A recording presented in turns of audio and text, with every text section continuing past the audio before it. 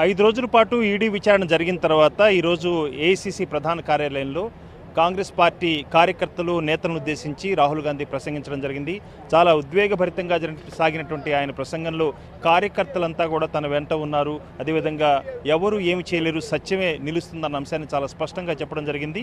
రాహుల్ గాంధీ స్వయంగా అన్ని రాష్ట్రాల నుంచి వచ్చినటువంటి ప్రజాప్రతినిధులు ఆయా పిసిసి అధ్యక్షుల నేతృత్వంలో సాయంత్రం అందరికీ కూడా సమయం ఇవ్వడం జరిగింది. విడివిడిగా అన్ని రాష్ట్రాలకు చెందినటువంటి ప్రజాప్రతినిధులంతా కూడా కలవబోతున్నారు. ఆయా రాష్ట్ర పరిస్థితులను వివరించడంతో పాటు తనకు మద్దతుగా తనకు సంఘీభావం తెలియజేస్తూ దేశవ్యాప్తంగా చేసినటువంటి ఆందోళనలు నిరసనల పట్ల చాలా కృతజ్ఞతాపూర్వకంగా మాట్లాడటం కూడా జరిగింది. ఈ ప్రసంగంలో చాలామంది హాజరయ్యారు. తెలంగాణ పీసీసీ అధ్యక్షుడు రేవంత్ రెడ్డి మనతో ఉన్నారు. సరే ప్రసంగం ఎలా ఉంది మీకు? కార్యకర్తలను ఉత్తేజ ప్రతినిధులు ఆయన చేసినటువంటి ఉద్యోగభరిత ప్రసంగం పట్ల మీకు ఉన్నటువంటి అభిప్రాయం ఏంటి?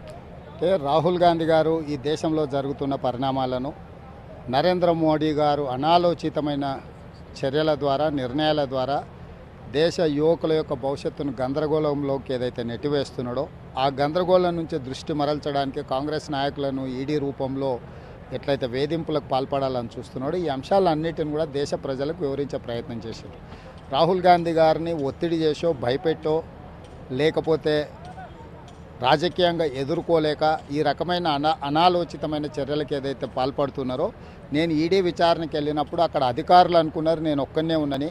కాదు మానసికంగా నాకు కోట్లాది మంది కాంగ్రెస్ పార్టీ కార్యకర్తలు ఈ దేశ ప్రజలు నాకు అండగా నిలబడ్డారు.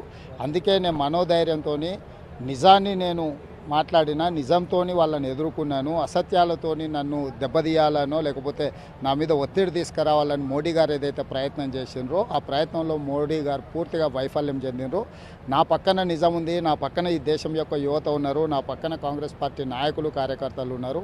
నేను ఎవరికీ భయపడను దేనికి భయపడను అని ఒక సందేశాన్ని రాహుల్ గాంధీ గారు ఇవ్వడం జరిగింది. అదేవిధంగా ఈడీ తనని పిలిచి విచారణ చేయడాన్ని ఒక చిన్న సమస్యగా చూస్తున్నారు రాహుల్ గాంధీ గారు.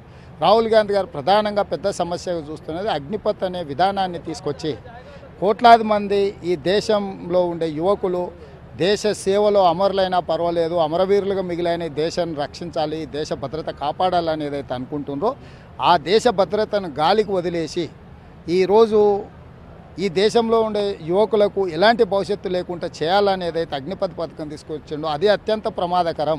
దాన్ని ఎదుర్కోవాల్సిన అవసరం ఉంది. ఆ విషయంలో కాంగ్రెస్ పార్టీ ఈ దేశం యొక్క యువకులకు దేశభక్తులకు అండగా నిలబడుతుంది. దేశభక్తి ముసుగులో దేశాన్ని దెబ్బతీయాలన్న ఆలోచన ఏదైతే నరేంద్ర మోడీ గారు చేస్తున్నారో దాన్ని ఎదుర్కొంటాము.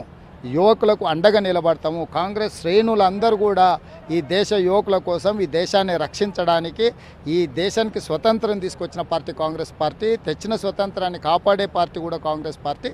మేము దేశంలో ఉండే యువకులకు అండగా నిలబడతాం. ఈ పథకాన్ని ఎట్లయితే రైతు వ్యతిరేక వ్యవసాయ నల్ల చట్టాలు తెచ్చినప్పుడు మేము ఏదైతే చెప్పినామో ఎట్టి పరిస్థితుల్లో ఈ ప్రభుత్వం మెడల్ వంచి ఆ చట్టాలను ఉపసంహరించే విధంగా పోరాటం చేస్తామని చెప్పినాం నరేంద్ర మోడీ వెనక్కి తీసుకోక తప్పదని కూడా రాహుల్ గాంధీ గారు పదే పదే చెప్పారు.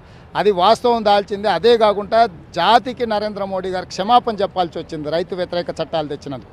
ఈరోజు కూడా ఈ దేశ యువకులకు దేశ భద్రతకు సంబంధించి ఒక ప్రమాదకరమైన నిర్ణయాన్ని కేంద్ర ప్రభుత్వం ఏదైతే తీసుకుందో కాంగ్రెస్ పోరాటాల ద్వారా అది ఉపసంహరించుకోవడమే కాకుండా జాతికి ఈరోజు సాయంత్రం మీరు రాహుల్ గాంధీని కూడా కలుస్తున్నారు కదా? ఏమైనా దిశానిర్దేశం ఇస్తారా? మీ ఎంపీలే ఎమ్మెల్యే అంతా కూడా కలుస్తున్నారు కదా? ఏమైనా దానికి ఏమైనా ఇంపార్టెన్స్ ఉందా మీటింగ్కి ఖచ్చితంగా. దేశం నలుమూలలో జరిగిన ఈ ఆందోళనలు కానీ లేకపోతే ఈ ప్రభుత్వ వ్యతిరేక విధానాల మీద యువకులు చేస్తున్న పోరాటం కానీ వివిధ ప్రాంతాల్లో ముఖ్యంగా తెలంగాణ ప్రాంతంలో సికింద్రాబాద్ రైల్వే స్టేషన్లో జరిగిన దుర్ఘటనలు.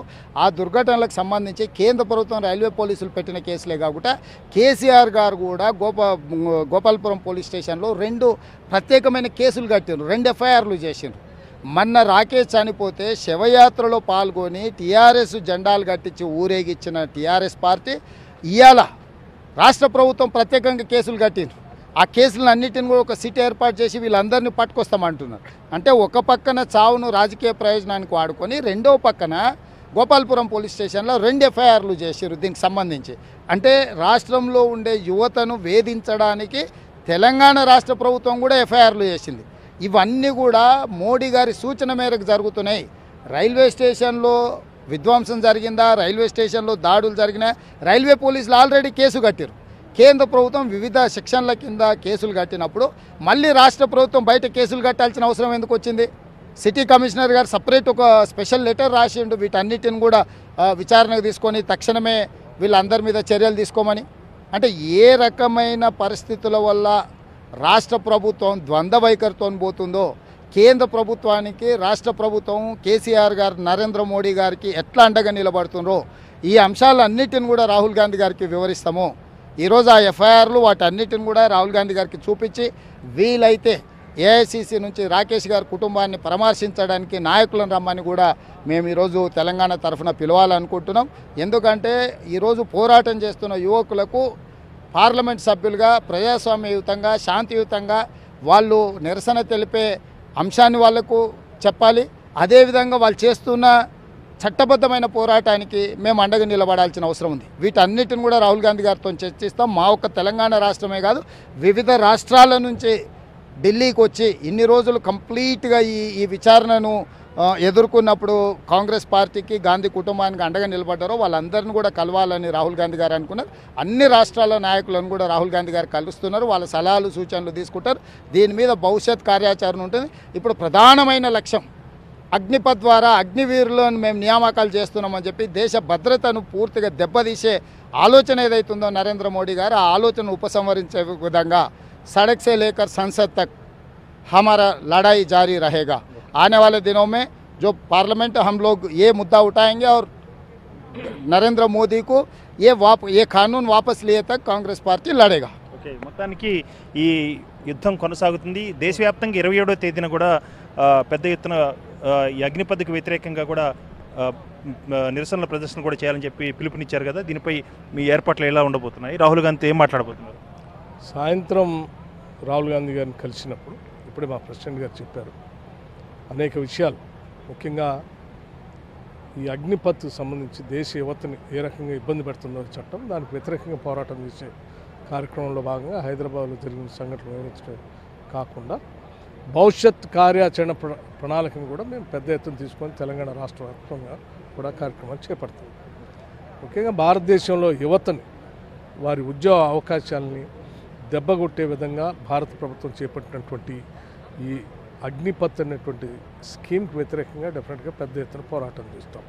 సంవత్సరానికి రెండు కోట్లు ఉద్యోగాలు ఇస్తానని చెప్పి మాటిచ్చి అధికారంలోకి వచ్చిన నరేంద్ర మోడీ గారు ఉద్యోగాలు రెండు కోట్లు సంవత్సరానికి ఇవ్వకపోగా చివరికి డిఫెన్స్ రిక్రూట్మెంట్లో జరిగేటువంటి ఉద్యోగాలను కూడా నాలుగు సంవత్సరాలకే పరిమితం చేసి డెబ్బై ఐదు శాతం వెనక్కి పంపిస్తామని చెప్పడం అంటే ఈ ఈ యువతనంతను కూడా వాళ్ళు చెప్పు చేతుల్లో పెట్టుకొని భారత రక్షణ రంగాన్ని సాఫ్రనైజేషన్ చేయాలనేటువంటి ఒక పెద్ద కుట్ర కూడా భారతీయ జనతా పార్టీ ఆర్ఎస్ఎస్ ఆధ్వర్యంలో జరుగుతూ ఉంది. దాంట్లో భాగంగానే ఈ చట్టాన్ని తీసుకొచ్చారు.